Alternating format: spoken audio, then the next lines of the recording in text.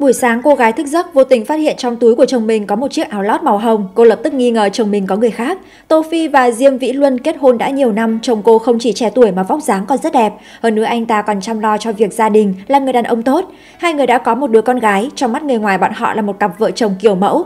Mọi chuyện đang rất tốt đẹp nhưng lại bị một chiếc áo lót phá vỡ. Tô Phi vốn tưởng rằng chiếc áo lót là món quà bất ngờ chồng tặng mình, không ngờ cô phát hiện kích thước áo không khớp với mình. Đúng lúc này chồng cô đột nhiên đi tới, anh ta không hề hoang mang bước đến trước mặt Tô Phi. Anh ta giải thích với Tô Phi mà mặt không đổi sắc, chiếc áo lót này là sản phẩm mới của công ty đang nghiên cứu, anh ta cố tình mang mấy mẫu về cho cô mặc thử. Đây không phải cỡ của em, quả thật nó hơi nhỏ, thôi, để anh chọn cho em cái khác nhé.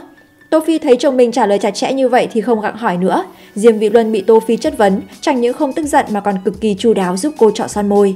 Anh hiểu phụ nữ như vậy chắc là ở bên ngoài anh được con gái yêu thích lắm nhỉ? Đương nhiên rồi, nhưng dù là nhà địa chủ thì cũng không có thóc thừa.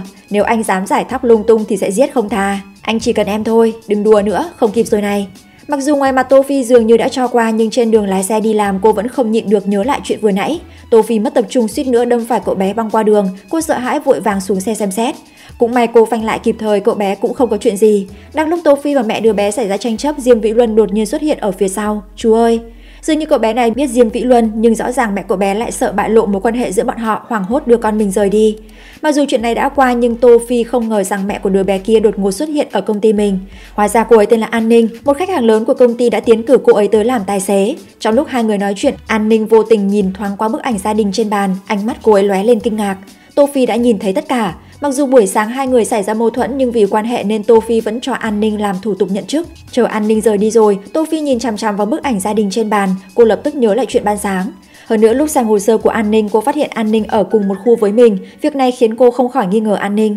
Xế chiều Diêm Vị Luân tới đón Tô Phi tan làm, Tô Phi vừa ngồi vào trong xe đã ngửi được mùi nước hoa lạ. Sao xe anh hôm nay thơm thế? Nhưng Diêm Vị Luân không nói gì mà trột dạ lập tức mở cửa sổ xe ra. Thế thế Tô Phi đóng cửa sổ lại, ngồi chờ Diêm Vị Luân giải thích. Không còn cách nào khác Diêm Vĩ Luân đành phải nói dối, anh ta bảo mình mới tiện đường đưa một khách hàng nữ về cho nên trên xe mới có mùi. Nhưng qua nét mặt của Tô Phi rõ ràng cô không tin lời Diêm Vĩ Luân. Lúc hai người cùng đi ăn tối Tô Phi cố ý dò hỏi anh ta, nói thật với em đi, anh có từng làm chuyện có lỗi với em không? Nếu có người đàn ông nói anh ta chưa từng làm chuyện có lỗi với phụ nữ chắc chắn anh ta nói dối. Đàn ông mà, bình thường ra ngoài uống rượu xã giao kết bạn với mấy thằng không ra gì, tiêu mấy khoản không nên tiêu, đi đến những nơi không muốn đi nhưng nhất định phải đi. Nghiêm khắc mà nói cũng không thể coi là 100% không có lỗi với vợ được. Với lại có tên đàn ông nào mà không thích ngắm phụ nữ đẹp đâu. Thừa nhận mình lăng nhăng à, mắt anh nhìn chứ không phải trái tim. Diêm Vĩ Luân ra vẻ bình tĩnh thật ra không biết Tô Phi đã nhìn thấu toàn bộ, sau đó cô kiếm cớ đi vệ sinh. Đúng lúc này điện thoại của Diêm Vĩ Luân vang lên nhưng anh ta không biết lúc mình bắt máy Tô Phi đã quay về. Chờ Diêm Vĩ Luân cúp máy rồi giác quan thứ bảy của đàn ông khiến anh ta lập tức căng thẳng, bởi vì sau lưng anh ta truyền đến hơi thở lạnh lẽo. Lúc này anh gọi ai là bảo bối thế? hà? Lúc em đi vệ sinh ấy. Nghe cô nói vậy Diêm Vĩ Luân không trột dạ cũng không bối rối, mở danh bạ điện thoại cho Tô Phi xem. Trên màn hình hiện ra tên bao bối của phòng đầu tư. Đến đây không thể không nói chiêu này của Diêm Vĩ Luân quá cao tay. Bao bối và bảo bối đồng âm, ngay cả kẻ ngốc cũng có thể nhận ra. Nhưng Tô Phi lại không biết gì, để Diêm Vĩ Luân lấp liếm chót lọt. Nhưng Tô Phi không ngờ rằng buổi tối cô vào xe của Diêm Vĩ Luân lấy đồ, kết quả cô bất ngờ phát hiện một món đồ nhựa bị hỏng ở ghế sau. Nhìn móc khóa trước mặt trong đầu cô chợt nhớ đến chuyện ban ngày. Lúc ấy cô thấy trên túi của An Ninh cũng có món đồ tương tự, chuyện này khiến cô càng nghi ngờ mối quan hệ của bạn họ hơn. Tô Phi còn chưa kịp nghĩ thêm vừa định đi vào nhà thì đụng phải Diêm Vĩ Luân. Anh ta nói muốn xuống tầng vứt rác. Nhưng thang máy dừng ở tầng 1 đó không phải tầng an ninh ở hay sao? Tô Phi thấp thỏm nhấn chuông cửa căn hộ 1101, người mở cửa chính là cậu bé ban ngày suýt bị cô đâm trúng. Mẹ cháu ở nhà không? Mẹ đi đổi rác rồi. Câu nói của cậu bé khiến cô càng thêm chắc chắn, sau đó Tô Phi nói dối rằng cô đặc biệt đến thăm cậu và mang cho cậu rất nhiều đồ ăn vặt. Cậu bé nghe vậy vui vẻ mời cô vào nhà. Nhưng lúc cậu bé chọn đồ ăn vặt, Tô Phi lén lút lấy trộm móc khóa ở túi. Đúng lúc này An Ninh đột ngột trở về, sao cô lại tới nhà tôi? À, tôi đến xem thử cậu bé, mua cho nó chút đồ ăn. Nó không sao cả. À đúng rồi, ngày mai 8 giờ tôi cần dùng xe, cuối tuần tăng ca à? Đúng vậy, cô có đi được không? Chắc không được rồi, ngày mai tôi muốn dẫn An Khang ra ngoài. Tô Phi lập tức ngây người vì sáng nay chồng cô cũng nói phải đi công tác. Thời gian ra ngoài của An Ninh trùng khớp với thời gian Diêm Vĩ Luân đi công tác, sau đó Tô Phi thất thần ra khỏi nhà của An Ninh. Tô Phi chưa từng nghĩ cuộc hôn nhân của mình sẽ có vấn đề, thật ra trong thâm tâm cô vẫn có chút hy vọng. Nhưng sau khi cô thử giáp hai mảnh móc khóa lại, một con tôn ngộ không hoàn chỉnh xuất hiện, trái tim cô run lên như bị sét đánh trúng. Thời gian đầu cô phát hiện ra mình bị chồng lừa dối, thậm chí gã bội bạc ấy còn lén lút chuyển 3 triệu cho niềm vui mới kia. Nhưng cô biết rõ ràng trước khi có đầy đủ chứng cứ, cô phải tìm cách đối phó với gã bội bạc này. Sau đó cô muốn kiểm tra lịch sử tin nhắn trên điện thoại của chồng. Tuy nhiên Tô Phi đã đánh giá thấp gã lăng nhăng ấy, dù sao Diêm Vĩ Luân cũng không phải người hiền lành gì.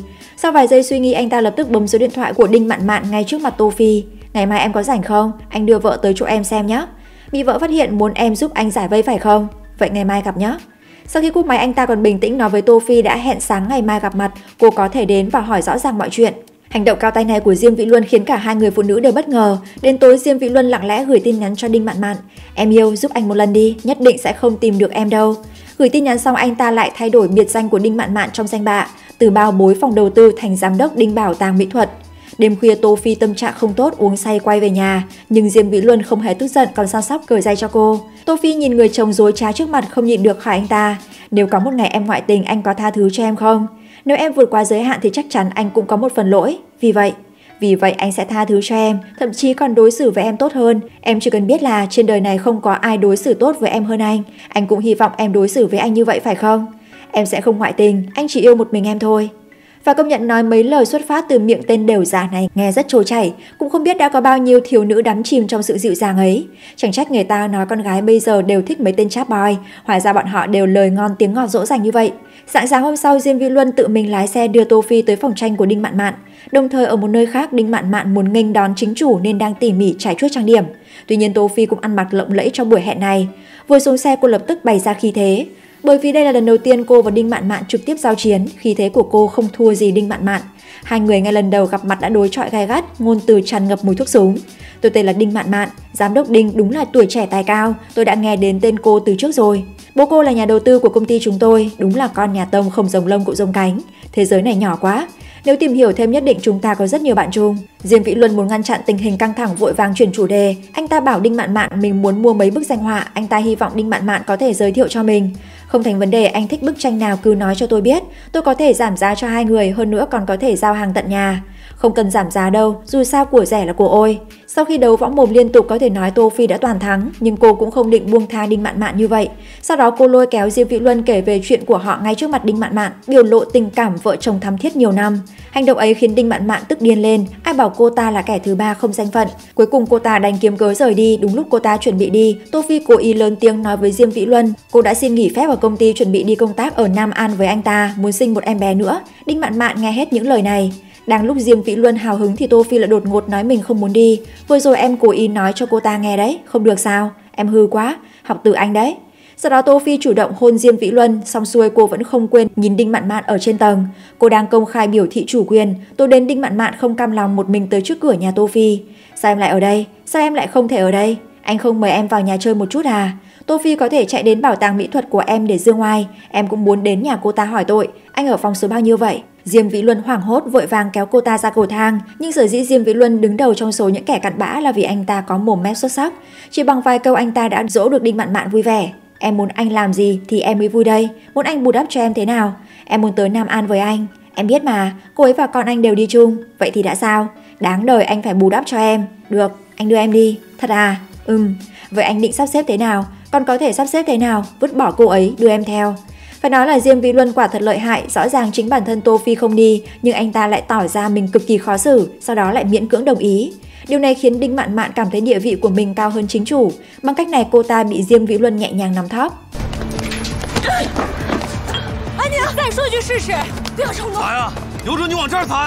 Không lâu trước đây An Ninh biết được sự thật từ miệng của Tô Phi, lúc này cô ấy mới biết bản thân của mình đã làm kẻ thứ ba. Sau đó An Ninh bèn đến tìm Đinh Mạn Mạn, cô ấy cảnh báo cô ta đừng tiếp tục làm chuyện sai. Sau đó An Ninh còn bảo Đinh Mạn Mạn mau chóng rời khỏi Diêm Vĩ Luân. Dù gì phá hoại gia đình người khác đã là chuyện không tốt lành rồi, nhưng Đinh Mạn Mạn vẫn không nghĩ như vậy. An Ninh thấy mình không khuyên được cô ta, cuối cùng cô ấy cũng đành phẫn nộ rồi quay người bỏ đi. Sau đó An Ninh lại tìm đến Diêm Vĩ Luân, cô làm gì vậy? Buông ra, cô bị thân kinh hả? Anh còn dám một chân đạp hai thuyền, tôi sẽ cho anh đẹp mặt. Đáng tiếc đôi nam nữ cặn bã này không có giới hạn đạo đức, họ không coi lời nói của an ninh ra gì. Đến buổi tối lúc Tô Phi và em trai Tô Lạc ở nhà tám chuyện đột nhiên nghe tiếng hét của bé trai dưới lầu, hai người lập tức xông qua nhà của An Ninh. Sau khi đi vào mới phát hiện cô ấy ngất trong nhà vệ sinh, đợi khi Tô Lạc gọi cô tỉnh lại mới biết An Ninh lúc nãy vì uống rượu nên mới ngủ quên trong nhà vệ sinh. Tô Phi thấy An Ninh không có trở ngại gì, lúc chuẩn bị rời khỏi nhà cô ấy đột nhiên An Ninh gọi cô lại, vì cô ấy thực sự không nhẫn tâm thấy Tô Phi tiếp tục bị Diêm Vĩ Luân lừa, thế là cô nói hết những gì mình biết cho Tô Phi nghe. Đến ngày hôm sau Tô Phi lập tức gọi luật sư tư vấn chuyện ly hôn. Luật sư Trương, tôi nhất định cần quyền nuôi dưỡng. Nhà cửa là tài sản trước khi tôi kết hôn, tiền trong tài khoản của chúng tôi bị anh ta chuyển đi hết rồi, tôi nên làm sao đây? Ừm, chỉ cần có bằng chứng chứng minh đối phương có hành vi chuyển nhượng tài sản chung, số tiền này có thể lấy lại được. Nếu còn có thể chứng minh anh ta là người có lỗi trong vụ ly hôn, cũng có lợi cho việc phán xét. Cho nên chúng ta vẫn phải đưa ra cho được chứng cứ. Và lúc này An Ninh mang bữa trưa đi vào, do trong lòng cô ấy có chuyện giấu Tô Phi nên thử bày tỏ sự quan tâm của mình. Sau đó An Ninh còn xin lỗi thay chuyện Đinh Mạn Mạn đã làm, nhưng Tô Phi vốn không trách cô ấy trong chuyện này, ngược lại cô thấy con người của An Ninh vô cùng chân thành. Hai người trò chuyện qua lại và thấy cực kỳ hợp nhau. Lúc An Ninh chuẩn bị rời đi, Tô Phi nhờ cô ấy giúp mình hẹn Đinh Mạn Mạn vì cô muốn nói chuyện thẳng thắn với cô ta. Nghe xong An Ninh cũng đồng ý. Đến buổi tối Tô Phi đang sắp xếp đồ đạc cho con gái đi Nam An, đột nhiên cô nhận được cuộc gọi của An Ninh. An Ninh thành thật nói cho Tô Phi biết Đinh Mạn Mạn đã đi Nam An. Nghe được tin này Tô Phi ngây người tại chỗ, cô cố gắng giữ cảm xúc bình tĩnh. Nếu nói lúc trước cô còn ôm ấp hy vọng vào cuộc hôn nhân này, vậy thì lúc này lòng cô coi như đã chết lặng, cuối cùng cô hạ quyết tâm bắt đầu hành động. Chưa qua bao lâu Diêm Vĩ Luân đưa con gái tới khách sạn Nam An. Lúc họ tiến hành làm thủ tục tại quầy lễ tân Đinh Mạn Mạn cũng đột nhiên xuất hiện tại đó. Cô ta còn đặt phòng trung tầng với họ. Khi Diêm Vĩ Luân đưa con gái đi tập huấn, anh ta đã nóng lòng gửi tin nhắn cho Đinh Mạn Mạn, em lập tức qua ngay. Lúc này bỗng dưng chuông phòng vang lên, Diêm Vĩ Luân nghĩ Đinh Mạn Mạn đến tìm mình, lúc này anh ta cực kỳ vui vẻ. Không ngờ khi anh ta ra mở cửa thì đơ người tại chỗ. Bất ngờ không, chồng ơi? Vợ, đột nhiên Tô Phi xuất hiện đã khiến Diêm Vĩ Luân trở tay không kịp. Cô cũng thấy rõ nét mặt hốt hoảng của anh ta, nhưng Tô Phi vẫn giả bộ như không biết chuyện. Cô âm thầm suy nghĩ kế hoạch tiếp theo. Chồng à, anh biết em tới nên mới cố tình làm thế hả? Anh vừa tắm xong, chỗ này nóng quá. Gặp được em đã khiến anh kích động như vậy à? Nghe câu nói này Diêm Vĩ Luân cài khó ló cài khôn, anh ta nhõng nhẽo bảo Tô Phi mau chóng đi tắm, nếu vậy anh ta có thời gian ngăn Đinh Mạn Mạn sang đây ngay. Anh sốt ruột thế cơ à, anh muốn làm gì? Em biết anh muốn làm gì mà, em đi tắm trước đã. Tuy nhiên lúc Tô Phi chuẩn bị đi tắm đột nhiên tiếng chuông cửa vang lên, trong phút chốc trái tim của Diêm Vĩ Luân muốn nhảy tới cổ họng. Tô Phi lập tức chạy ra mở cửa, không ngờ người đến lại là phục vụ phòng, xem ra đây là một báo động sai. Một mình anh gọi cả một chai rượu à? Anh vốn muốn điều chỉnh tâm trạng một chút, đây là nơi chúng ta đi tuần trăng mật năm xưa ôn lại kỷ niệm. Tuy nhiên xét từ vẻ mặt khinh thường của Tô Phi lúc này trong lòng cô biết rất rõ cô chỉ cố tình hỏi thăm Diêm Vĩ Luân mà thôi. Lúc này bỗng nhiên điện thoại của Tô Phi reo lên, cô cố tình đi vào nhà vệ sinh nghe máy. Một giây sau tiếng chuông cửa vang lên lần nữa. Ai vậy? Bấm nhầm phòng. Thật ra Tô Phi biết Diêm Vĩ Luân đang nói dối nhưng cô không muốn vạch trần anh ta nhanh như vậy. Mà lúc này Đinh Mạn Mạn bị nhốt ngoài cửa tức tối đến mức adrenaline dâng cao. Cũng chính vì như vậy Tô Phi thấy kế hoạch của mình đã hoàn thành, thế là cô thay một bộ đồ lộng lẫy, nói dối là mình phải đi gặp khách hàng quan trọng. Tuy ngoài miệng thì Diêm Vĩ Luân trách cô vừa mới tới đã bỏ đi, nhưng thực ra trong lòng vui như nở hoa. Trước khi cô đi Tô Phi còn cố tình để lộ bao cao su trong túi sách. Em mang theo cái này làm gì? Mang tới dùng mà. Nói xong Tô Phi quay người bỏ đi tuy trong lòng của Diêm Vĩ Luân lại thấy nghi ngờ, nhưng anh ta không tiến lên hỏi cho rõ ràng. Đợi sau khi cô rời khỏi chưa lâu, Diêm Vĩ Luân lập tức chạy tới gõ cửa phòng của Đinh Mạn Mạn. Anh ta vừa vào phòng thì bị cô ta tát cho một phát. Thấy Đinh Mạn Mạn giận dữ thế này, Diêm Vĩ Luân lập tức mặt dày đi tới dỗ cô ta. Được rồi, em đừng giận nữa mà. Anh biết lần này đã khiến em phải chịu ấm ức, nhưng sau này chúng ta còn rất nhiều cơ hội mà. Anh chắc chắn sẽ bù đắp cho em một kỳ nghỉ thật vui. Chúng ta tới một nơi tốt hơn có được không? Nếu không thì em nói đi, em muốn anh bù đắp cho em thế nào, em mới hài lòng. Đinh Mạn Mạn thấy Diêm Vĩ Luân chân thành như vậy sau đó cũng lựa chọn tha thứ cho anh ta. Sau khi trải qua cuộc chiến 10 phút, Đinh Mạn Mạn kéo Diêm Vĩ Luân tới tham quan triển lãm nghệ thuật ánh sáng. Nếu có một ngày em thật sự rời xa anh, anh có buồn không? Có chứ, nhưng mà anh cũng không có quyền ngăn em. Vậy rốt cuộc anh yêu em vì điều gì? Anh cảm thấy ở bên cạnh em trong lòng có rất nhiều, rất nhiều tình yêu có thể phóng thích ra ngoài, không cần phải kiêng dè. Hơn nữa anh chỉ mong em có thể vui vẻ. Chỉ đơn giản vậy à? Ừm, chỉ đơn giản vậy thôi. Ở bên cạnh em anh chỉ mong em vui vẻ. Sao dáng vẻ nói dối của anh lại thành khẩn thế này? Đối với cô ấy anh buộc phải nói dối, nhưng đối với em thì những gì anh nói đều là thật. Trong lời nói dối hư tình giả ý của Diêm Vĩ Luân, Đinh Mạn Mạn lại chìm đắm một lần nữa. Điều khiến họ không ngờ là cảnh này đã bị Tô Phi trốn ở phía sau từ nãy giờ quay lại từ lâu. Sau đó cô bèn gọi điện thoại cho Diêm Vĩ Luân, cô nói cuộc thi tranh luận của con gái mình cần có người lớn quan sát, bảo anh ta nhanh chóng qua đó một chuyến. Sau khi cúp máy, Diêm Vĩ Luân quay người dặn dò Đinh Mạn Mạn vài câu đơn giản rồi vội vàng quay lưng rời đi. Điều này khiến Đinh Mạn Mạn bỗng cảm thấy lạc lõng.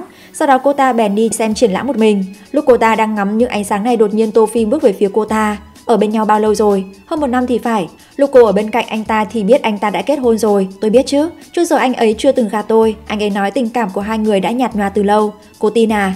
Tại sao tôi không tin chứ? Giữa hai người vốn đã có vấn đề. Cho dù không có tôi thì cũng sẽ có người khác thôi. Trần đời tôi mới thấy người hống hách như cô đấy. Đinh Mạn Mạn nghĩ đây chính là một trận ác chiến, không ngờ Tô Phi lại tỏ ra điềm tĩnh như vậy. Cô tỏ ý mình đồng ý ly hôn với Diêm Vị Luân. Đối với tôi, người đàn ông đi gieo rác khắp nơi chẳng khác gì rác rưởi cả, chuyện xử lý rác thì giao cho cô đấy. Cô chịu ly hôn, tôi chịu. Cô có biết anh ta muốn thế nào không? Thao tác đẳng cấp này của Tô Phi khiến Đinh Mạn Mạn ngây ngốc tại chỗ. Sau khi xử lý xong mấy chuyện này một mình Tô Phi ra bờ biển cho khuây khỏa. Nếu nói Tô Phi không còn tình cảm với Diêm Vĩ Luân đó đúng là chỉ để lừa mình gạt người. Dù gì hai người đã yêu nhau từ thời đại học mà đến khi tốt nghiệp rồi mới kết hôn. Tuy nhiên Nam An từng là nơi hưởng tuần trăng mật của cả hai. Hồi tưởng lại mọi chuyện trái tim của Tô Phi đau như dao cắt, nhưng cô vốn không định tiếp tục duy trì cuộc hôn nhân nhớp nháp này nữa. Sau đó cô tháo chiếc nhẫn trên ngón tay vô danh từ từ vứt nó vào trong nước biển lạnh giá. Vì nơi này khắc ghi quá nhiều hồi ức tốt đẹp cho cô. Tuy nhiên mọi thứ đã thay đổi vào thời điểm này. Thiết nghĩ bắt đầu từ đâu thì kết thúc ngay tại đó. Khi Tô Phi bối rối không biết tương lai sẽ ra sao, đột nhiên An Ninh gọi điện cho cô. Lúc An Ninh hỏi cô có ổn không, bỗng dưng Tô Phi dỡ bỏ phòng ngự quỳ xuống khóc lóc trong đau đớn. Thế thế An Ninh chỉ đành an ủi, chăm sóc bản thân cho tốt, Diêm Vị Luân không đáng đâu. Diêm Vĩ Luân quỳ phịch xuống đất khóc lóc xin lỗi Tô Phi, xin cô hãy cho anh ta thêm một cơ hội. Anh từng nói không thằng đàn ông nào sẽ tha thứ loại chuyện này thì sao lại yêu cầu phụ nữ tha thứ chứ? Diêm Vĩ Luân nghe thế bắt đầu giả vờ đáng thương, anh ta từ từ lết lên trước, ôm chặt lấy Tô Phi rồi khóc lóc xin cô hãy tha thứ cho mình. Nếu có thể anh ta chấp nhận dùng tính mạng để đổi lấy sự tha thứ của Tô Phi, nhưng lúc này chị gái đã hoàn toàn tỉnh táo. Cô không hề muốn quay lại bởi vì trong lòng Tô Phi biết rõ Diên Vị Luân là kẻ nói dối quen miệng. Cách đây không lâu Tô Phi lén lút theo dõi Diêm Vĩ Luân, cô đã thành công chụp được chuyện của anh ta và Đinh Mạn Mạn. Sau đó Tô Phi cố tình để lộ dấu Hickey trên cổ trước mặt Diêm Vĩ Luân. Hơn nữa cô còn cố tình để anh ta thấy bao cao su trong túi sách của mình. Điều này khiến cho Diêm Vĩ Luân nghĩ rằng mình đang bị cắm sừng, nhưng anh ta nói biết tất cả mọi chuyện đều là kế hoạch của Tô Phi. Có điều người quan trọng nhất trong kế hoạch này lại là Đinh Mạn Mạn, thế nên Tô Phi cố tình tìm cô ta, kể rằng cô đang tính ly dị với Diêm Vĩ Luân. Quả nhiên vào lúc này Diêm Vĩ Luân ở bên kia đã nhận được tin nhắn của Đinh Mạn Mạn, vợ anh đang định ly dị với anh đó. Sau khi đọc được tin nhắn, Diêm Vĩ Luân quay người rời khỏi địa điểm tập luyện của con gái rồi leo lên một chiếc xe và chạy về hướng cửa hàng mua sắm. Không lâu sau đó, Đinh Mạn Mạn nhận được một chiếc vòng cổ đá thạch anh xanh, còn Tô Phi cũng nhận được một cái rồng thế nhưng màu khác. Là một hải vương trong nhà phải hiểu cách cân bằng mọi việc, nhưng số tiền gấp đôi đó vẫn phải chi ra. Bên đây Diêm Vĩ Luân cố gắng thăm dò ý của Tô Phi, muốn biết rõ rốt cuộc cô có ý định ly dị với mình không. Cùng lúc đó ở bên kia Đinh Mạn Mạn lại nhận được một bó hoa tươi kèm theo một tấm thiệp nhỏ, bên trên còn viết là cảm ơn bà bối đã thông cảm. Phải công nhận rằng hành động của Diêm Vĩ Luân khiến cho biên tập viên nhỏ như tôi xem mà cũng phải trợn mắt há mồm. Sau khi hai người đưa con gái đi tập luyện, Diêm Vĩ Luân lập tức buồn dẫn Tô Phi thưởng thức bữa tối dưới ánh nến. Ai ngờ Tô Phi bảo tối nay mình phải đi xã giao. Nói xong cô lập tức xoay người rời đi, Diêm Vĩ Luân nhớ tới hành vi khác thường trong khoảng thời gian này của cô. Trong lòng anh bỗng thấy lo lắng nên đã theo dõi cô. Sau đó anh ta đã nhìn thấy cô leo lên một chiếc xe đẹp, hơn nữa có hành vi thân mật với người đàn ông kia. Điều này khiến anh ta nhìn ngồi trên đống lửa. Đến tối Diêm Vĩ Luân theo dõi Tô Phi tới khách sạn, nhìn thấy Tô Phi mặc chiếc áo choàng tắm thì trong lòng Diêm Vĩ Luân lập tức bùng lên cơn giận dữ. Anh ta cá chắc rằng Tô Phi định vui vẻ với người khác cắm sừng mình, nhưng anh ta kiểm tra một vòng quanh căn phòng mà vẫn không phát hiện thấy ai khác. Diêm Vĩ Luân tức giận tiến về phía Tô Phi, bóp cổ cô. Thằng đó đâu? Thằng đó đâu? Vì sao lại không giống như anh nói, cho em thêm một cơ hội nữa, đối xử tốt với em hơn để em hồi tâm chuyển ý. Bị bệnh à? Không thằng đàn ông nào chịu được loại chuyện này. Đúng lúc này trong phòng tắm bỗng có tiếng nước chảy, Diêm Vị Luân quay người muốn đi kiểm tra thử, nhưng Tô Phi lại tiến lên kéo anh ta lại, bảo anh ta mau nói thật đi. Có điều đánh chết Diêm Vị Luân anh ta cũng không thừa nhận mà còn tức giận tát Tô Phi một cái. Ngay khi anh ta xông vào nhà tắm thì phát hiện người trước mặt lại là Đinh Mạn Mạn. Bây giờ chuyện đã đến nước này, Diêm Vị Luân vẫn tình nói dối. Giám đốc Đinh, sao cô lại ở đây? Đinh Mạn Mạn nghe thấy thế bèn liếc Diêm Vị Luân một cái. Không phải cô bảo muốn ly dị với anh ấy à? Tôi nói rồi, tôi đồng ý. Không phải cô cũng muốn biết anh ta có chịu hay không à? Diêm Vĩ Luân, anh không yêu cô ta, bây giờ anh mau ly hôn đi. Từ đó đến giờ tôi chưa bao giờ muốn ly hôn. Cô phí hết tâm tư mà cũng không đổi được một câu thật lòng của anh ta. Mấy lời hoa mỹ của anh ta mà cô cũng dám tin à? Đinh mặt bạn của bây giờ đã chết mê chết mệt Diêm Vĩ Luân nên vẫn tiến lên giữ chặt anh ta. Rốt cuộc anh sợ cô ta cỡ nào mà vẫn phải dối lòng thế hả? Những gì cô ta cho anh thì em đều có thể cho, em còn cho nhiều hơn nữa. Em thực sự có thể cho thêm mà. Anh ta không sợ tôi mà là sợ cô đó.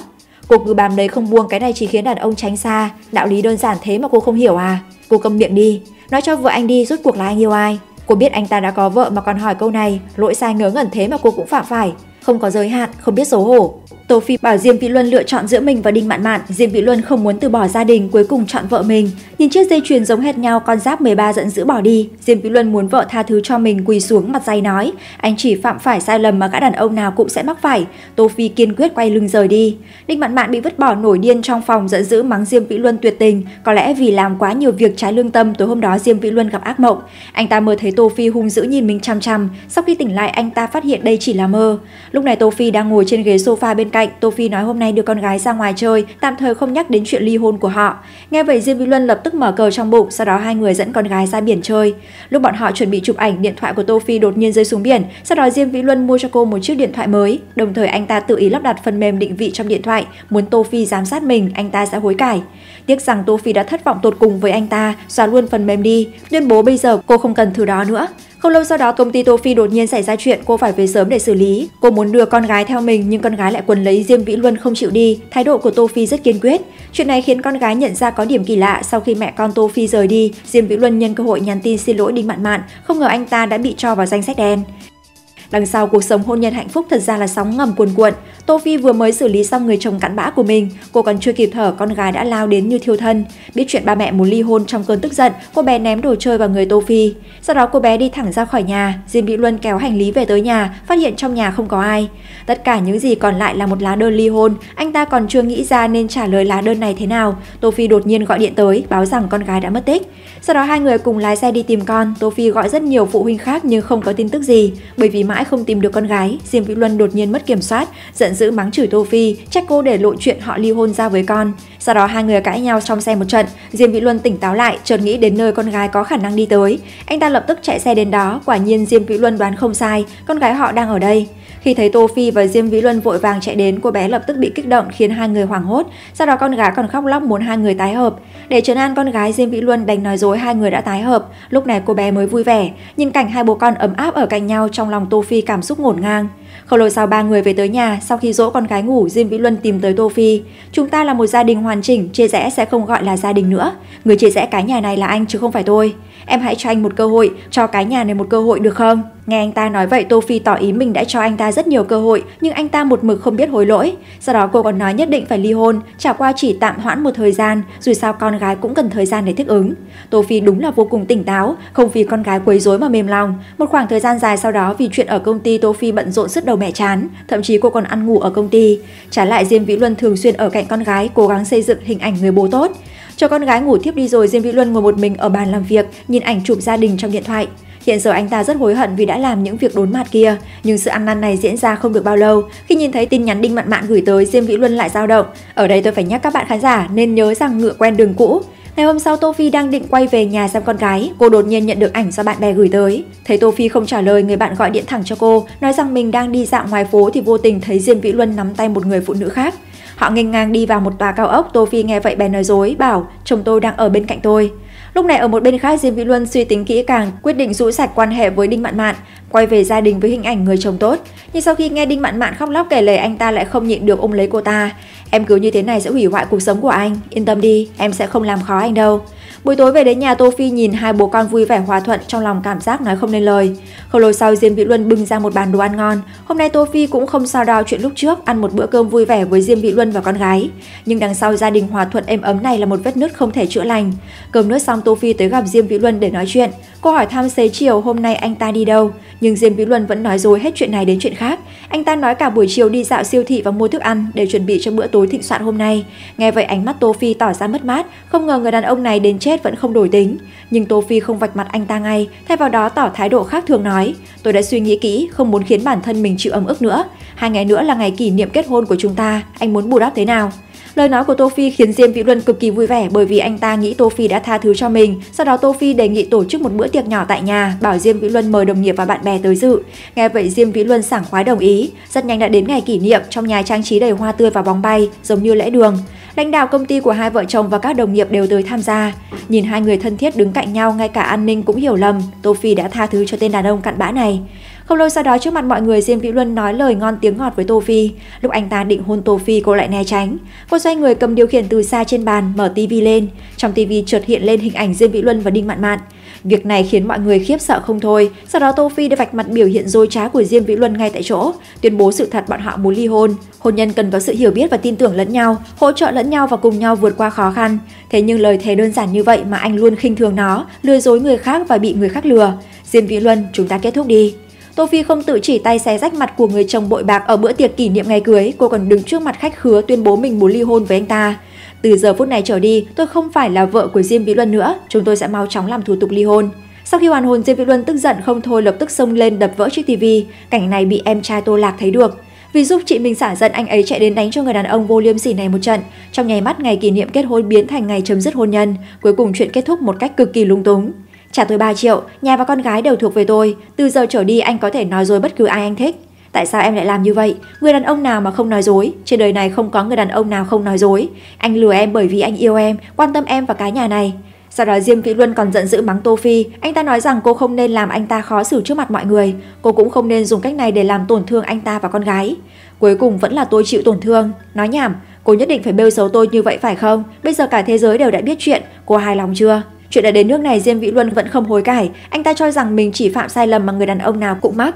Tô Phi phải rộng lượng tha thứ cho anh ta, thậm chí anh ta còn cho rằng việc anh ta phản bội Tô Phi không liên quan gì đến tình yêu dành cho cô. Tam quan của Diêm Vĩ Luân đúng là không thể tưởng tượng nổi, ngay cả Tô Phi cũng cảm thấy nực cười.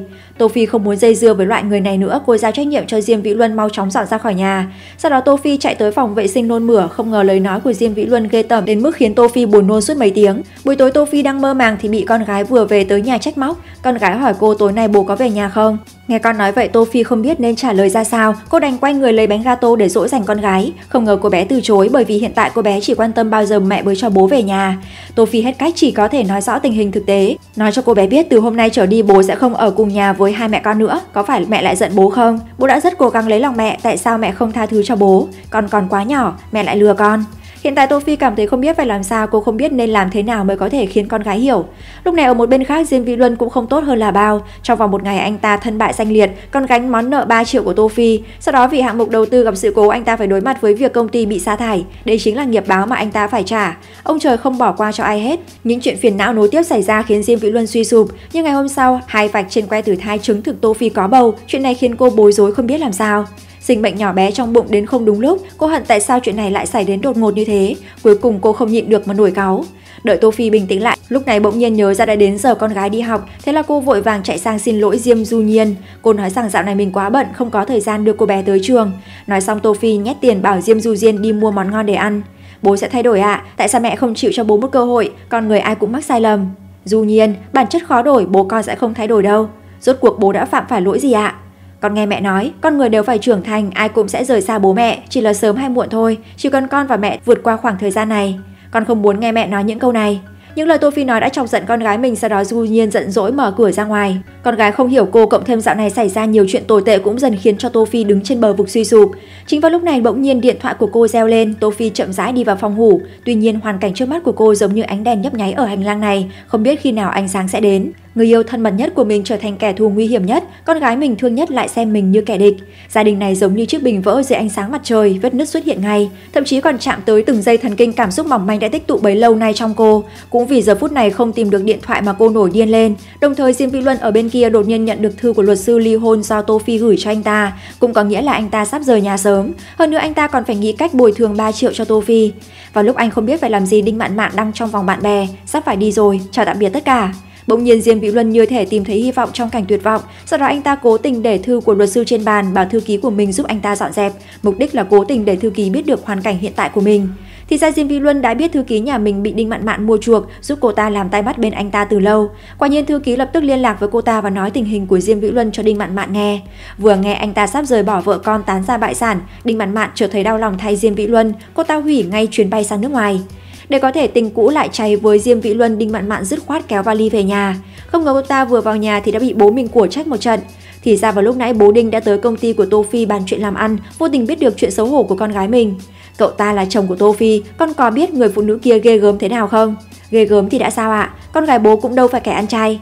Người đàn ông kia lớn hơn con mười mấy tuổi, bây giờ còn mắc nợ. Bố nói cho con nghe, con lập tức chia tay với cậu ta ngay cho bố. Anh ấy thật sự nợ à? Nợ bao nhiêu vậy ạ? Con còn định trả thay cho cậu ta. Đinh mạn mạn, bây giờ bố cho con hai lựa chọn. Thứ nhất, lập tức ra nước ngoài, nếu không con đừng hòng tiêu một đồng của bố. Tuy nhiên Đinh Mạn Mạn thà cắt đứt sinh hoạt phí mà bố cho mình, từ đầu tới cuối vẫn cố chấp chờ Diên Vĩ Luân ly hôn. Đầu óc yêu đương của cô ta đúng là khiến ông ấy tức điên lên được. Đồng thời bên kia an ninh theo Tô Phi tới bệnh viện phụ sản kiểm tra sức khỏe. Thật ra trong lòng cô vừa bối rối vừa mâu thuẫn, dù gì hiện giờ mình cần phải xử lý quá nhiều việc, chẳng những cô phải nghĩ cách dỗ dành con gái, tiếp theo còn phải chuẩn bị cho vấn đề ly hôn. Lúc này cô mệt mỏi cả về thể xác lẫn tinh thần. Huống hồ mang thai khi lớn tuổi mang lại tổn hại cực lớn cho phụ nữ. An Ninh bày tỏ mình đã từng phải đối mặt với sự lựa chọn như vậy. Ban đầu lúc cô còn học đại học cũng yêu chủ tịch ngang ngược bàng hâm, bản thân còn trẻ không biết gì, còn mang thai con của anh ta. Khi chuẩn bị báo tin này cho bà Hâm biết, cô ấy bất ngờ phát hiện anh ta là người đã có gia đình. Cuối cùng một mình An Ninh lựa chọn lặng lẽ rời đi. Tuy An Ninh biết rất rõ nỗi vất vả khi là mẹ đơn thân, nhưng dù cho có chịu bao nhiêu cực khổ, mỗi lần gặp con mình đều sẽ cảm thấy mọi thứ đều rất đáng. Cô ấy cũng chưa từng hối hận về sự lựa chọn của mình. Nhưng Tô Phi không chắc chắn mình có can đảm như An Ninh, nhưng An Ninh bày tỏ cho dù cô đưa ra bất kỳ quyết định gì, cô ấy đều sẽ dốc sức ủng hộ. Đến ngày hôm sau Đinh Mạn Mạn ở bên ngoài nhàn nhã uống cà phê, tình cờ bắt gặp Diêm Vĩ Luân đi ngang. Cô ta thấy dáng vẻ tiêu tụy của anh ta trong lòng của cô ta rất khó chịu, nhưng Đinh Mạn Mạn vẫn cố ý tỏ ra lạnh lùng và mỉa mai anh ta vài câu. Tuy nhiên Diêm Vĩ Luân vốn không phản bác lời cô ta nói mà móc thẻ ngân hàng trong túi áo mình ra. Em cầm lấy đi, trong đây có 300 nghìn, không nhiều. Anh làm gì vậy? Anh cho em đó. Anh lấy đâu ra nhiều tiền như vậy? Không phải anh đền hết tiền cho vợ mình rồi sao? Anh đã bán xe rồi, em sắp ra nước ngoài coi như đây là một chút tâm ý trước khi chia tay của anh đi. Anh tưởng là không còn cơ hội, nhưng thật không ngờ lại gặp em ở nơi này. Phải nói là Diêm Vĩ Luân thực sự rất thông minh, chiều này của anh ta đã khiến cho Đinh Mạn Mạn vô cùng cảm động. Bản thân lại thành dáng vẻ nghèo túng thế này, từ đầu tới cuối trong lòng anh ta vẫn là mình. Bỗng chốc hành động của Diêm vị Luân đã giành được trái tim của Đinh Mạn Mạn, cô ta không hề chần chừ tiến lên ôm lấy Diêm vị Luân. Tuy nhiên điều mà Đinh Mạn Mạn không biết là cái gọi là cuộc gặp gỡ tình cờ này đều là anh ta đã lên kế hoạch cẩn thận. Diệp Vĩ Luân đã biết được hành tung của Đinh Mạn Mạn thông qua vòng bạn bè từ lâu, cho nên anh ta mới cố ý gặp gỡ tình cờ như vậy. Quả nhiên điều này đã xoay chuyển tình thế trong chớp mắt. Diệp Vĩ Luân dùng 300 ngàn đổi lấy 3 triệu, năng lực của anh ta đúng là vượt ngoài sức tưởng tượng của tôi. Sau đó họ lại trải qua cuộc chiến 3 phút, Đinh Mạn Mạn quả thực không cách nào thoát khỏi anh ta. Anh đừng lo nữa, không phải chỉ có 3 triệu thôi sao? Em thay anh trả, anh yên tâm đi. Có em ở đây, vợ anh cũng không quật chết anh được. Không phải em là vợ anh à? Diên Vĩ Luân không hổ là cao thủ trong đám cặn bã, chiều thao túng thần cấp này của anh ta càng khiến Đinh Mạn Mạn bị bám chặt hơn. Hôm nay cũng không xảy ra chuyện gì bất ngờ, diêm Vĩ Luân thua kiện trong vụ ly hôn, cũng mất quyền nuôi con, anh ta còn phải trả 3 triệu cho Tô Phi trong thời hạn. Tuy nhiên Tô Phi bị Diêm Vĩ Luân làm tổn thương quá sâu sắc, dù cho bây giờ cô đã thắng vụ kiện nhưng lúc này cô đã kiệt sức cả về thể xác lẫn tinh thần. Lúc cô vừa rời khỏi tòa án, Đinh Mạn Mạn kiêu ngạo lái chiếc xe thể thao tới đón Diêm Vĩ Luân, cô ta còn nghênh ngang đứng trước mặt Tô Phi tuyên bố chủ quyền của mình. Phí chia tay đúng là không ít nhỉ. Diêm Vĩ Luân dùng tiền của tôi đi đầu tư, toàn bộ đều mất, xem ra cô định trả thay anh ta nhỉ? Coi như thay anh ấy chuộc thân ấy mà, không ngờ cô còn trẻ lại xài đồ bỏ đi. Tôi thích, tôi sẵn lòng. Nếu không phải Diêm Vĩ Luân có chết cũng không chịu ký tên vào thỏa thuận ly hôn, tôi sẽ không làm tới bước kiện tụng thế này. Đinh Mạn Mạn, cô vẫn còn trẻ, cho nên tôi muốn khuyên cô một câu, hôn nhân không phải trò đùa, nhân phẩm là tiêu chuẩn khảo sát rất quan trọng. Nói một câu khó nghe tôi chính là tấm gương của cô.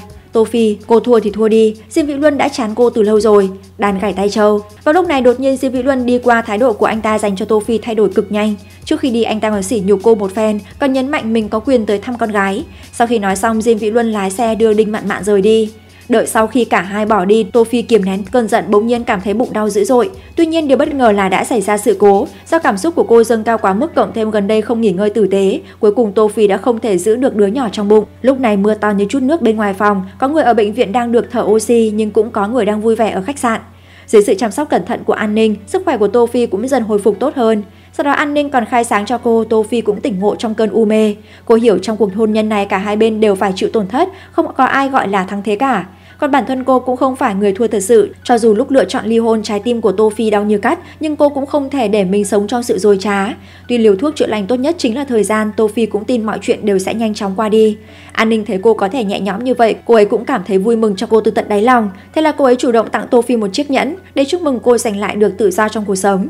Người ta nói bồ câu trắng tượng trưng cho tội lỗi, từ nay về sau cậu hãy là chính mình đi. Trải qua buổi trò chuyện chân thành với nhau, hai người đều cảm nhận được niềm vui nỗi buồn của nhau. Kể từ đó Tô Phi và An Ninh đã trở thành những người bạn tốt, trò chuyện về mọi thứ. Sáng sớm hôm sau bạn của Tô Phi vội vã đến tìm cô, Lị Lị than vãn chồng mình thường đi đêm không về nhà. Cô ấy bày tỏ lần này mình thật sự không chịu nổi nữa, quyết định muốn đi cùng Tô Phi đứng lên phản kháng. Nhưng một mình Lị Lị thì có hơi sợ nên mới chạy tới nhờ Tô Phi và An Ninh giúp một tay. Không thành vấn đề, anh ta ở đâu, tôi không biết.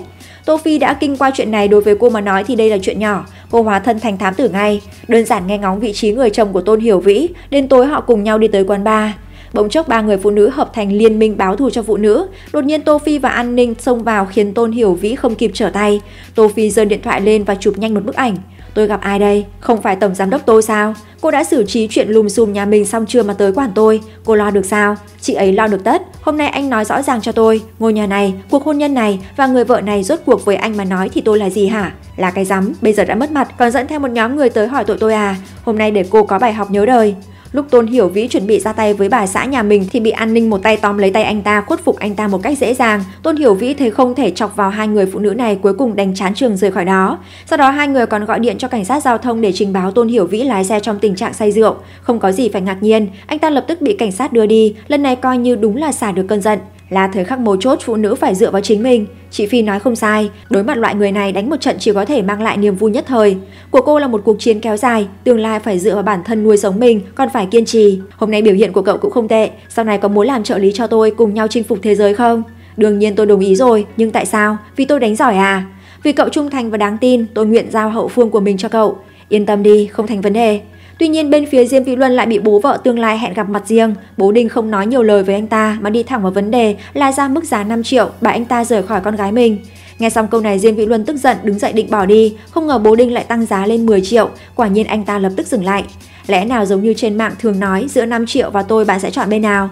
Lúc bố Đinh hiểu lầm Diêm Vĩ Luân đã đồng ý không ngờ anh ta lại bày tỏ là mình không cần một xu nào cả. Sở dĩ anh ta quay lại ngồi đây chỉ là muốn chứng tỏ mình thật lòng yêu Đinh Mạn Mạn.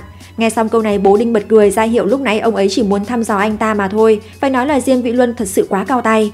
Nếu cưới Đinh Mạn Mạn anh ta không chỉ có 10 triệu này mà là gấp nhiều lần con số 10 triệu này cũng không chừng. Ngay cả biên tập nhỏ bé như tôi còn nhìn ra chuyện này là như thế nào. Huống chi bố Đinh là thương nhân lăn lộn trốn thương trường. Sau đó ông ấy lấy ra một tờ chi phiếu đưa qua, nói với Diêm Vĩ Luân đây chỉ là tiền ba của mình, bảo anh ta đi chơi với con gái mình cho tử tế. Ông ấy không phản đối hai người yêu nhau. Nhưng mà, Vĩnh Viễn đừng hòng đặt chân vào nhà của tôi. Câu nói này của bố Đinh làm Diêm Vĩ Luân tức điên nhưng anh ta cũng không thể dễ dàng bỏ cuộc như vậy. Đến hôm sau mẹ Đinh hỏi bố Đinh về kết quả gặp mặt Diêm Vĩ Luân, bố Đinh ra vẻ tự tin nói thẳng, cậu ta cũng còn thể diện cả đời này sẽ không đặt chân vào nhà họ Đinh chúng ta. Không ngờ một giây sau ông ấy lại bị vả mặt ngay, bác trai, bác gái. Bỗng chốc hai ông bà ngây người tại chỗ. Tuy nhiên Diêm Vị Luân cầm tiền của Đinh Mạn Mạn mua một chiếc đồng hồ hiệu cho ba Đinh. Sau đó anh ta còn hạ thấp mình để hỏi thăm sức khỏe của ông ấy. Không ngờ những chuyện này đều nằm trong dự đoán của bố Đinh, cho nên ông ấy hoàn toàn không mắc phải bẫy này của anh ta.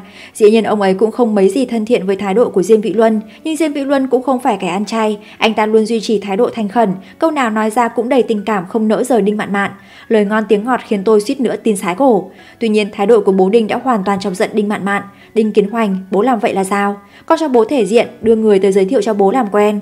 Bố cứ muốn người ta xấu hổ mới được sao? Bố biết cậu ta dành hơn con nhiều, cậu ta dựa vào gì mà xưng với con? Xưng với con chứ đâu phải xưng với bố, con có bắt bố kết hôn với anh ấy đâu. Con nói rằng bậy gì vậy? Lấy đồng hồ lại đi, cậu ta có tiền mua sao? Có phải quẹt thẻ của con không? Thẻ của con là thẻ phụ của bố, từ lúc đó vẫn do bố trả đấy thôi. Sau đó Đinh Mạn Mạn giận dữ quay người bỏ đi, nhưng sau khi hai người ra khỏi nhà, Diêm Vĩ Luân tỏ ra bất lực khuyên can cô ta, bảo cô ta đừng vì mình mà bất hòa với người trong nhà. Câu này làm Đinh Mạn Mạn vô cùng cảm động. Tiếp theo cô ta bày tỏ mình đã bán bảo tàng nghệ thuật đó rồi, ngày mai sẽ chuyển 3 triệu cho anh ta, bảo anh ta nhanh chóng trả cho Tô Phi. Sau khi nghe xong Diêm Vĩ Luân giả bộ cảm động tiến lên ôm lấy Đinh Mạn Mạn. Cảm ơn em, vợ à. Xem ra Đinh Mạn mà xa vào lưới tình này đã hết thuốc chữa. Tuy nhiên lúc này bên Tô Phi đột nhiên nhận được cuộc gọi từ người phụ trách trang web hẹn hò, yêu cầu kiện cô cố tình đăng bình luận tiêu cực lên các trang web của họ. Thì ra không lâu trước đây Tô Phi vô tình thấy chồng của bạn mình tìm kiếm hôn nhân trên nền tảng hẹn hò, thế là cảm giảm với đồng nghiệp Sử Thượng Phi rằng trang web này vô lương tâm. Sau đó Sử Thượng Phi thông qua kỹ thuật và thủ đoạn tuyên truyền để bôi nhọ uy tín của trang web, điều này dẫn đến người phụ trách trang web phải chính thức hẹn gặp Tô Phi. Chào cô, tôi là Dương Khải, Chúng ta mở công ty thì nên xây dựng nhiều mối quan hệ tốt đẹp, tôi ghét phải hạ mình nhất. Thật ra trước khi tới đây tôi cũng tìm hiểu về công nghệ thể thao phi thượng, sau này chúng ta có thể hợp tác. Một nền tảng chỉ biết thu tiền không kiểm tra tư cách người dùng mà còn mong chúng tôi đánh giá cao cho anh sao. Đừng tự đề cao mình quá, tôi không báo cáo các anh đã là tốt lắm rồi. Tô Phi vốn không tiếp nhận phương án giải quyết này của Dương Khải, cô cũng chẳng thèm nói nhảm với anh. Lúc cô chuẩn bị đứng dậy rời đi, đột nhiên lại bắt gặp Diêm Vị Luân và Đinh Mạn Mạn. Hai người họ cố tình tỏ ra ân ái làm Tô Phi phải buồn nôn. Là bạn cô à? Anh này là... Tôi là chồng cũ của cô ấy. Nghe câu này Dương Khải chợt hiểu ra vấn đề. Lúc Đinh Mạn Mạn để lộ vẻ mặt tiểu nhân đắc chí, Dương Khải lập tức đứng dậy, chút giận giúp Tô Phi. Anh ấy mở miệng ra là bùng nổ, chọc cho hai người kia sắp tức điên lên. Anh, anh chồng cũ, chị trà xanh, thứ lỗi nếu tôi có nói sai, cho hai người. Hay cho tên này, nói một câu coi như chửi cả hai cùng lúc, người khác nghe cũng thấy cực kỳ hả giận. Diệp Vị Luân tỏ vẻ ghê tởm, khinh thường gu thẩm mỹ của Tô Phi. Người đàn ông hóm hình nằm không cũng trúng đạn sao chịu để yên cho được. Anh chàng lập tức mở miệng lấy danh thiếp trong túi ra và giới thiệu với họ. Anh ấy nói mình là giám đốc điều hành của dating.com. Hai vị vẫn chưa kết hôn phải không? Chưa kết hôn thì vẫn còn cơ hội. Dù sao cuộc đời vô thường, nếu một ngày nào đó hai người chia tay thì sao? Vì vậy tôi khuyên hai người nên đăng ký thành viên ở chỗ tôi. Có điều điều kiện đầu tiên để đăng ký hội viên là phải độc thân. Độc thân. Đương nhiên thỉnh thoảng cũng có vài người mặt dày đã có vợ, đội lốt người độc thân để quyến rũ các cô gái. Lời nói đá xéo của Dương Khải khiến hai người kia tức điên lên. Tô Phi, đây là bạn của cô à? Sau khi ly hôn với tôi, cô suốt ngày giao du với loại tôm tép nhã nhép này à? Sao có thể tự nói mình như vậy được chứ? Tôi cảm thấy anh cũng khá đấy. Câu nói khéo léo sau đó của Dương Khải đã lật ngược tình thế, khiến Tô Phi bên cạnh suýt nữa thì bật cười. Muốn gỡ gạc mặt mũi, Diêm Vi Luân bảo lát nữa mình sẽ tới cửa hàng bên cạnh thử đồ cưới. Nếu có thời gian bọn họ có thể tới góp ý kiến. Muốn đi thử váy cưới à? Hai người nghĩ thoáng thật đấy. Tôi theo đuổi Tô Phi lâu như vậy mà cô ấy còn chưa đồng ý đâu. Tô Phi, có vẻ cô không hề nhàn rỗi trong khi vẫn chưa ly hôn nhỉ? Nhìn xem vợ anh giấu kỹ chưa kìa. Chị gái này, chị đã lên trước chính thất sao còn gọi người ta là vợ anh vậy? Thói quen khi làm con giáp thứ 13 à? Câu nói này đã chọc giận Đinh Mạn Mạn, cô ta cầm cốc cà phê trên bàn định hắt vào họ, không ngờ lại bị Dương Khải cướp mất. Hai người kia không nói lại được mà chắc gì đã đánh lại nổi anh trai này, cuối cùng chỉ có thể xa sầm mặt rời đi. Từ hôm sau Diên Vĩ Luân định hẹn bố Đinh để nói với ông ta rằng mình muốn kết hôn với Đinh Mạn Mạn, nhưng lần này bố Đinh không phản đối anh ta nữa. Ông ấy đồng ý thẳng thừng chỉ có một điều kiện bắt buộc đó là chỉ tổ chức lễ cưới mà không đăng ký kết hôn. Hết cách Diêm Vĩ Luân chỉ đành nhịn nhục đồng ý. Sau khi Diêm Vĩ Luân ly hôn với Tô Phi tưởng như anh ta sống trong huy hoàng, nhưng thực ra luôn bị người khác trả đạp danh dự, mà anh ta cũng đổ hết ngọn nguồn bất hạnh lên đầu Tô Phi. Sau khi say khướt, Diêm Vĩ Luân vô tình thấy Tô Phi cách đó không xa, thế là anh ta lảo đảo đi tới trước mặt Tô Phi. Anh ta chút hết những lời oán giận vào cô và đe dọa bắt cô sẽ phải trả gấp đôi mọi món nợ. Chuyện này khiến Tô Phi cảm thấy mỉa mai và nực cười. Rõ ràng chính Diêm Vĩ Luân làm sai trước rồi anh ta lại muốn trả đũa cô. Tô Phi không muốn để ý đến loại người này đứng dậy muốn rời đi, không ngờ Diêm Vị Luân lại ngăn cản cô. Đúng lúc này, An Ninh đột nhiên xuất hiện. Anh định làm gì? Tôi tưởng cô hẹn ai hóa ra là hẹn cái người ái nam ái nữ này à. Cho đến tận khi ông chủ quán ba quát bảo ngừng lại, trận chiến mới kết thúc. Nhưng trước khi đi Diên Vĩ Luân vẫn không quên nói những lời tàn nhẫn. Hay lắm, cứ để xem. Sớm hay muộn cô cũng phải trả giá đắt cho những gì mình làm. Tôi sẽ chờ xem. Buổi sáng tỉnh dậy Tô Phi phát hiện mình ngủ trong khách sạn, bên cạnh cô còn có một người đàn ông không tính là xấu, việc này khiến cô sợ hãi. Cô nhìn khung cảnh lạ lẫm xung quanh rồi vội vàng nhìn lại mình, lần này đúng là xấu hổ tột độ. Cô khẽ khàng cầm lấy chiếc áo bên cạnh, kéo lên che mặt Dương Khải lại.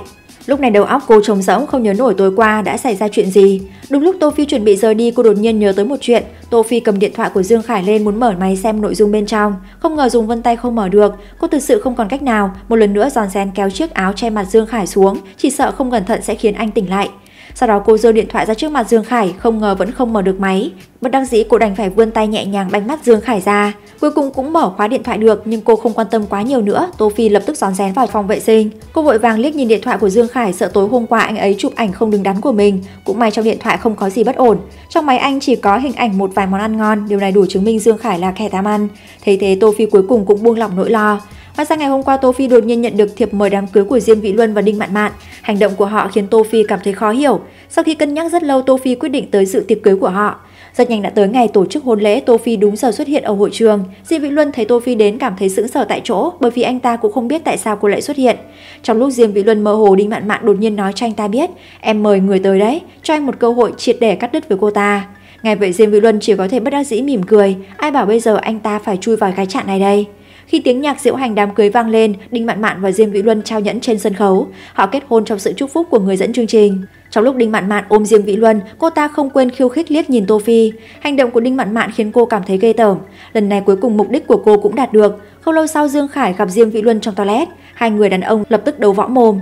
Anh có biết vì sao người ta phàn nàn với đôi giày rách này không? Bởi vì nó đau chân. Anh không biết thủ đoạn của cô ta đâu. Tôi khuyên anh đừng tự tìm đường chết.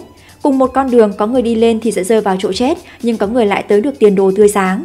Tôi cũng khuyên anh, đã đổi đường đi rồi thì cứ đi trên con đường của mình, đừng có biến nó thành đường chết, cũng đừng giả vờ nhớ thương. Lời nói của Dương Khải khiến Diêm Vị Luân tức gần chết. Nhân lúc Dương Khải không chú ý, anh ta đột ngột nhấn đầu anh vào bồn rửa tay. Sau đó anh ta còn hung tợn cảnh cáo anh, không ngờ Dương Khải cũng chẳng phải người hiền lành. Sau khi tỉnh táo lại, anh ấy lập tức ra tay. Diêm Vị Luân, anh đưa tô phi của tôi đi đâu rồi? Anh uống nhiều quá rồi đấy. Tôi uống nhiều ư? Ngay trước mắt tôi, anh liếc mắt đưa tình với vợ cũ, vừa nay anh còn dẫn cô ấy ra ngoài. Anh, không phải tôi cố ý nhắm vào anh đâu, vì anh lăng nhăng nên mới bị người ta đá. Là đàn ông chúng ta cần có lòng tự trọng. Bây giờ anh đã viên mãn kết hôn lần thứ hai, anh nên tự lo cho thân mình, quý trọng người trước mắt được không? Hành động này của Dương Khải trong Diêm Vĩ Luân tức chết cũng khiến buổi tiệc cưới trở thành trò cười trong mắt mọi người. Đôi vợ chồng mới cưới trở thành trò cười cho thiên hạ. Lúc đầu tưởng rằng Dương Khải quấy rối xong là chuyện kết thúc, nào ngờ nhân duyên của Tô Phi cực kỳ tốt, không lâu sau lại có hai sứ giả hộ hoa tới. Tô Phi, họ là ai vậy? Bạn trai, đồng nghiệp. Em tìm được bao nhiêu người để nhờ cậy vậy? Ăn ở tốt nên bọn họ tới giúp đỡ thôi. Anh cũng đến giúp một tay à? Hừ, rất vui được gặp anh, tốt lắm, nhiều người sức lớn, vào bàn thôi. Hành vi ngây thơ của ba người đàn ông khiến Tô Phi hết sức cạn lời. Tô Phi nhìn ba tên hàng giả bên cạnh cảm thấy cực kỳ bất đắc dĩ, bởi vì không ai trong số ba người này bình thường. Không lâu sau Đinh Mạn Mạn dẫn Diêm Vĩ Luân bước tới. Bây giờ cô thích chơi đùa thế à? Nhưng nên chú ý đến cơ thể mình nhé. Cần anh quan tâm à? Tôi nói này Diêm Vĩ Luân, tại sao anh vẫn nghĩ về Tô Phi thế? Bây giờ cô ấy yêu ai, sống cùng ai là việc của cô ấy. Cô ấy được nhiều người yêu thích và săn đón đấy. Ai cần anh quan tâm. Này này, chồng cô quan tâm đến vợ cũ như vậy, cô không tức giận à? Trải qua một trận náo loạn bầu không khí trong hội trường càng căng thẳng hơn, cuối cùng Diêm Vị Luân chỉ có thể dẫn Đinh Mạn Mạn rời đi. Sau khi ra khỏi hội trường đám cưới, Dương Khải đi cùng Tô Phi ăn đồ nướng về hè. Cô đột nhiên mở miệng hỏi anh ấy, có phải anh muốn theo đuổi tôi không? Tôi nói cho cô biết, tôi theo đuổi cô hồi nào, cô lấy đâu ra tự tin vậy? Cuối cùng cũng yên tâm, anh có biết không, Dương Khải, anh hoàn toàn không phải gu tôi. Cất cái gu của cô đi, cô cũng không phải loại tôi thích. Hai người ghét bỏ đối phương đồng thời của trách nhau, nói chuyện một lúc Tô Phi đột nhiên đa cảm. Nhưng Dương Khải không biết cách dỗ dành phụ nữ, cuối cùng anh chỉ có thể liên tục uống bia cùng với Tô Phi. Uống mãi, uống mãi, Tô Phi ngã gục. Dương Khải nhìn dáng vẻ mượn rượu dài sâu của cô lập tức cảm thấy đồng cảm với hoàn cảnh của cô. Lúc này Tô Phi đã say mềm, không còn cách nào, Dương Khải đành dìu cô lên xe taxi. Tô Phi mê man không nhớ được đường về nhà, rơi vào đường cùng Dương Khải đành dẫn cô vào khách sạn, sau đó mới dẫn tới sự việc kia. Chờ Tô Phi thay quần áo xong định rời khỏi phòng thì bị Dương Khải đang ăn sáng gọi lại. Tô Phi nổi giận đùng đùng bước đến chất vấn anh ấy. Tôi hỏi anh tối qua anh có nhân lúc cháy nhà hôi của không? Tôi không biết địa chỉ nhà cô, chẳng lẽ lại đem cô? Tôi không muốn nghe anh nói mấy lời này, tối hôm qua chúng ta có làm gì hay không? Nhưng Dương Khải không trả lời thẳng thắn mà lại trêu đùa Tô Phi, anh bảo cô ngồi xuống ăn sáng cùng anh ấy. Nhưng lúc này Tô Phi nào có tâm trạng ấy. Thấy vậy Dương Khải nói cho cô biết nếu không ăn sẽ lãng phí, bởi vì căn phòng tổng thống này được thuê dưới tên cô, cuối cùng cô là người phải trả tiền. Nghe nói thế Tô Phi nổi khùng lên, trong cơn nóng giận cô dùng chiếc ghế kẹp bị thương tay Dương Khải. Hôm nay coi như tôi xui xẻo, đêm qua coi như không có chuyện gì xảy ra. Cô độc ác quá đi, Tô Phi. Sau khi trở lại công ty, Tô Phi thấy kế hoạch hợp tác kinh doanh do Dương Khải gửi tới, nội dung trong bản kế hoạch khiến Tô Phi hết sức ngạc nhiên. Mặc dù con người Dương Khải chẳng ra sao nhưng những thứ anh làm ra vô cùng tốt. Để giúp công ty thoát khỏi tình trạng khó khăn hiện tại, Tô Phi quyết định tự tới nói chuyện với Dương Khải. Không lâu sau đó, Tô Phi bưng một bộ nồi lẩu sang trọng đến công ty Dương Khải. Cô xin lỗi Dương Khải vì chuyện ban sáng, lập tức tuyên bố mình đã đọc bản kế hoạch kia.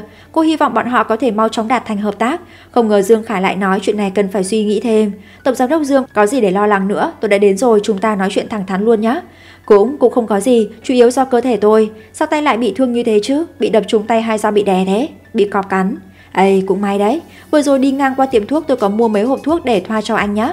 Sau khi nói xong Tô Phi lấy ra rất nhiều hộp thuốc từ trong túi giấy, đầy đủ từ thuốc bôi ngoài da cho đến thuốc uống. Dương Khải thấy Tô Phi có thành ý như thế nên lập tức đưa ra đề nghị hợp tác chia lợi nhuận 37. Tô Phi sung sướng vô cùng, cô cho rằng Dương Khải chia 7 cho mình, anh ngờ anh ấy lại bất ngờ nói, cô ba tôi 7. Nghe thế mặt Tô Phi lập tức biến sắc, cô nổi giận đùng đùng bước ra khỏi công ty Dương Khải. Nhưng khi cô trở lại công ty của mình, đối tác lại nhắc lại tình hình gần đây với cô. Sau khi trầm ngâm suy tư, của Tô Phi quyết định đến tìm Dương Khải nói chuyện. Đến trưa Tô Phi nhún nhường mời Dương Khải ăn cơm, thẳng thắn nêu ra suy nghĩ của mình. Cô chấp nhận nhượng bộ ở mức 46, cô 6, Dương Khải 4. Đây đã là giới hạn cuối cùng. Sau khi hai người bàn bạc một hồi lâu cuối cùng quyết định thực hiện phương án chia 5 năm. Và lúc này ở bên kia sau khi Diêm Vị Luân và Đinh Mạn Mạn kết hôn, bố Đinh lập tức sắp xếp cho anh ta đến công ty mình làm. Nhưng bố Đinh hoàn toàn không ngờ ông ấy sắp trả cái giá đắt cho quyết định lần này của mình, bởi vì thứ ăn chả đá bát thì cuối cùng vẫn ngựa quen đường cũ. Đến tối trên đường về nhà Tô Phi chợt phát hiện trong điện thoại của mình có nhiều thêm một đoạn video. Đợi đến khi mở ra xem cô lập tức sợ ngây người. Và ra tối qua khi cô uống say mềm là tự tay Dương Khải đưa cô vào khách sạn, hơn nữa toàn bộ quá trình đều được điện thoại quay lại. Tô Phi, cô có nhìn thấy không? Là do cô chủ động, còn tôi là bị động. Nếu cô thật sự muốn làm chuyện kia với tôi, vậy đợi khi nào cô tỉnh rượu rồi lại tới tìm tôi. Bây giờ Tô Phi mới biết mình đã hiểu lầm Dương Khải, tôi hôm qua hoàn toàn không hề có chuyện nhân lúc cháy nhà hôi của cả. Tô Phi nhìn bản thân say xỉn điên khùng trong video mà thấy xấu hổ vô cùng, sau cùng cô cảm thấy tự trách vì đã hiểu lầm Dương Khải. Sáng sáng hôm sau Tô Phi cố tình mang theo một phần bữa sáng cho Dương Khải để xin lỗi. Khi thấy Dương Khải đang ngủ, cô tính lặng lẽ rời khỏi. Bữa sáng tình yêu à, tốt thế à, đừng bảo là anh ở đây giả bộ ngủ với tôi nhé. Cái này gọi là nhắm mắt dưỡng thần, để quang hợp. Không giống như ai kia, vừa nằm xuống là ngủ say như chết, tôi nói không phải chứ.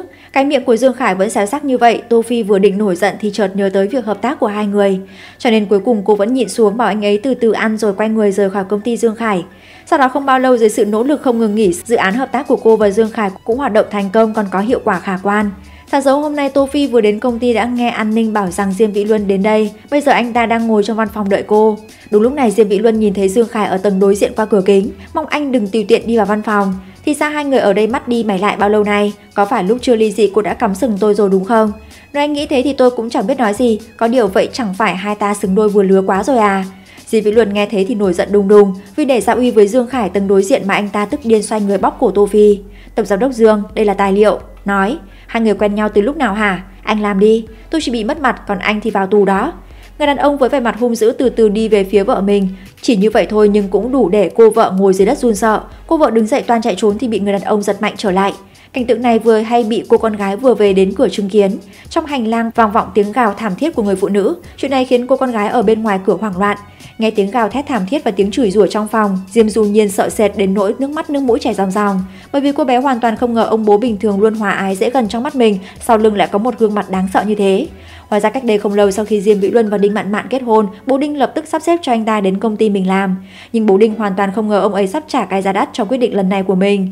Diêm Vĩ Luân không hài lòng với cương vị hiện tại nên năm lần bảy lượt muốn định nọt bố Đinh để ông ấy thay đổi chức vụ giúp mình. Nhưng bố Đinh không thích thái độ này của anh ta, thậm chí ông ấy còn gọi điện điều anh ta đến một vị trí mệt mỏi hơn. Chuyện này khiến Diêm Vĩ Luân tức giận lên, cũng chính vì vậy mà anh ta đã nảy sinh một suy nghĩ độc ác trong đầu. Ngày hôm sau anh ta lén ra ngoài mở một công ty dưới tên Đinh Mạn Mạn, sau đó anh ta đưa sắp tài liệu này cho lãnh đạo công ty. Thế nên bố Đinh đã bị gọi vào nói chuyện riêng, điều này làm ông ấy khá hoang mang. Đây là công ty cung ứng mới của chúng ta không phải công ty có nghiệp vụ bình thường. Thế anh có biết ai là người đứng đầu công ty này không? Là con gái anh đó, Đinh Mạn Mạn. Lão Đinh à, trong khoảng thời gian qua anh đã nói hết các giao dịch lợi ích liên quan của công ty này với Đinh Mạn Mạn. Sao anh lại làm thế hả? Vì vậy bố Đinh đã bị lãnh đạo lấy lại quyền lợi cho thôi việc mà người được lựa chọn để tiếp nhận vị trí của phó chủ tịch của ông ấy vừa hay chính là đứa con rể Diêm Vĩ Luân. Sau khi Diêm Vĩ Luân leo lên vị trí đó, chuyện đầu tiên anh ta làm chính là tới công ty Tô Phi. Mong anh đừng tùy tiện đi vào văn phòng. Thì ra hai người ở đây mắt đi mày lại bao lâu nay? Có phải lúc chưa ly dị cô đã cắm sừng tôi rồi đúng không? Nếu anh nghĩ thế thì tôi cũng chẳng biết nói gì. Có điều vậy chẳng phải hai ta xứng đôi vừa lứa quá nhỉ? Diêm Vĩ Luân nghe thấy bỗng nổi giận đùng đùng, anh ta tức điên xoay người bóp cổ Tô Phi. Dương Khải ở tầng đối diện thấy thế lập tức chạy sang công ty Tô Phi. Lúc anh ấy chạy đến nơi thì thấy mọi thứ đã trở lại bình thường. Tô Phi, anh ta bị làm sao thế? Vẫn đang nói chuyện công việc thôi mà. Anh cho rằng chúng tôi sẽ như thế nào hả? Diệp Vĩ Luân, tôi cảnh cáo anh, nếu anh dám động đến Tô Phi thì con mẹ nó tôi đập chết anh đó. Kích động dữ vậy sao? Sau đó Diêm Vĩ Luân dứt khoát nói thẳng ý định đến đây của mình, anh ta tuyên bố mình đã đảm nhận công việc của bố Đinh, tương lai hai công ty sẽ hợp tác làm việc, muốn đối đầu với cô. Nói xong anh ta quay người rời đi.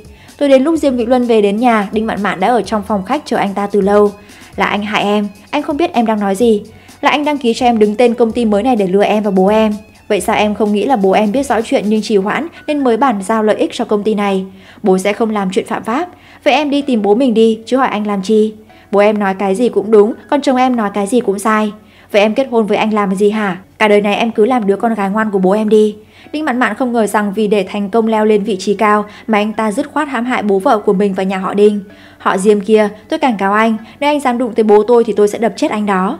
Những lời này của Đinh Mạn Mạn hoàn toàn chọc giận Diêm Vị Luân. Anh ta bước tới bóc mặt Đinh Mạn Mạn, nói thẳng cho cô ta biết là do anh ta hại bố Đinh, nhưng ông ấy còn chẳng thể phản kháng lại. Đinh Mạn Mạn nghe thế giận điên lên, cắn Diêm Vị Luân một cái. Anh ngờ lại bị anh ta hất ngã ra đất. Anh đừng tới đây. Sau đó Đinh Mạn Mạn bị Diêm Vĩ Luân đánh một trận, mà cảnh tượng này vừa hay bị cô gái con mới tan học về chứng kiến. Ám ảnh tuổi thơ cũng được chôn chặt trong lòng bắt đầu từ giây phút này. Vào lúc này ở bên kia nhóm Tô Phi đến quán rượu uống rượu, Dương Khải nhân cơ hội tỏ tình với Tô Phi, sau đó còn móc ra hai cuốn sổ chứng nhận bất động sản đưa cho cô. Anh bị bệnh à? Tôi đâu có bệnh, nhưng thái độ của em là sao? Nếu là người khác thì đã đỏ mặt rồi, nhảy dựng lên ôm tôi rồi nói em đồng ý. Nhưng tôi có muốn đâu, Dương Khải, đừng bảo là anh muốn cầu hôn tôi nhé. Cả đời tôi chỉ cầu hôn mình em. Diện tích nhiều vậy, thực tế đúng không? Diện tích không lớn chỉ có 2 đến 300 mét vuông. Tu Phi nghe thế lập tức sợ ngây người, ngay cả an ninh ngồi kế bên cũng khen Dương Khải ra tay hào phóng. Ai ngờ lúc Tô Phi cầm lên xem cái gọi là giấy chứng nhận bất động sản chính là hai ngôi mộ liền kề nhau. Ngôi mộ anh mua cho tôi chính là bất động sản à? Hai miếng, mỗi người một miếng đất nằm kế bên. Nên em muốn mua một miếng thì là chôn chung một mộ. Tôi khinh, sao tôi lại xui xẻo thế này? Chết rồi, con phải chôn chung mộ với anh, ngày nào cũng phải nghe anh lải nhải. Bây giờ đất nghĩa trang là ngoại tệ mạnh, giá cả lại đang lên, nói cũng có lý. À không, sao con người anh lại hiếm thấy thế? Anh đừng đưa ra nữa, bỏ qua là em hối hận đó. Hành động dữ dội này của Dương Khải đã khiến Tô Phi giờ khóc giờ cười. Không lâu sau đó An Ninh bất ngờ gặp Đinh Mạn Mạn đang say xỉn trong nhà vệ sinh. Lúc hai người gặp cô ta trên mặt cô ta vẫn còn vết bầm. Họ lập tức biết cô ta đã gặp phải chuyện gì, hai người không khỏi thấy sót mà đứng lại. Đúng lúc này Tô Phi bỗng nhận được điện thoại của dì bảo con gái tự nhốt mình trong phòng kiên quyết không chịu ra ngoài. Tô Phi không còn cách nào nên đành đưa Đinh Mạn Mạn về nhà cùng. Lúc con gái nhìn thấy Tô Phi về, cô bé lập tức bước tới ôm lấy cô, gào khóc nức nở thảm thương. Đến khi cô bé trông thấy Đinh Mạn Mạn đi ngang qua cửa phòng thì càng khóc dữ dội. Đến sáng hôm sau Tô Phi tính qua phòng thăm Đinh Mạn Mạn, ai ngờ cô ta đã thức dậy từ lâu, đang ngồi đờ ở trên giường. Thấy tôi hiện giờ chắc cô hả hê lắm nhỉ? Đinh Mạn Mạn, không phải cô rất ngông cuồng và đắc ý lắm à? Đi cướp chồng người ta bây giờ thấy ngu chưa? Tự tay kéo bố ruột mình chết chung nữa. Dù sao nói thế này muốn mắng thì cứ việc mắng ra đi, trong lòng tôi nghe cũng có thể dễ chịu một chút.